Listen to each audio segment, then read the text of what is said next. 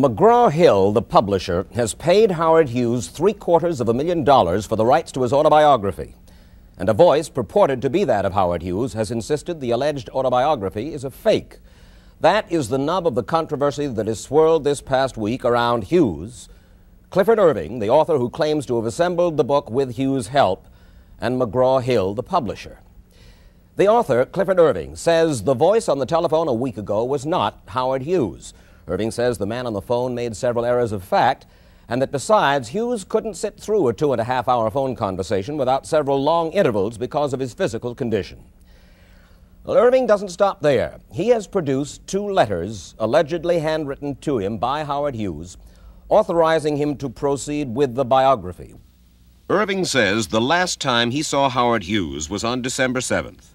Since that time, a voice purported to be that of Howard Hughes has told reporters that he doesn't know Irving and that the whole business of the so called autobiography is a fraud. Have you tried to be in touch with him since? Have you tried to tell him, Mr. Hughes, come forward and say I've is... said, Howard, speak up. Get, you know, call off the dogs. I've written him a letter to the only address that I have at the moment that I know is valid, and I've used the correct code words for identification.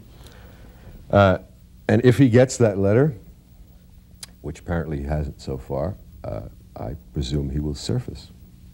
Uh, I don't know why he hasn't surfaced. It puzzles me, it upsets me, it distresses me. And I don't mean on my own account because I can handle this and we have the, we have the proof and that's no problem. Uh, it just distresses me that, uh, that he, he seems unable to respond. There's no doubt in your mind that he's alive, is there? No, I, I assume he's alive. Is the autobiography genuine? I can only say that it is laced with detail that one would think that only Howard Hughes could know.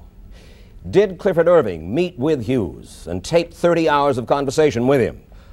Or did he come upon the material, the transcripts of Hughes' memoirs, from some other source? I just don't know. Mike, why is it if you or I acted that way, we'd be classed as certifiable paranoids? If you have $2 billion, you're simply eccentric.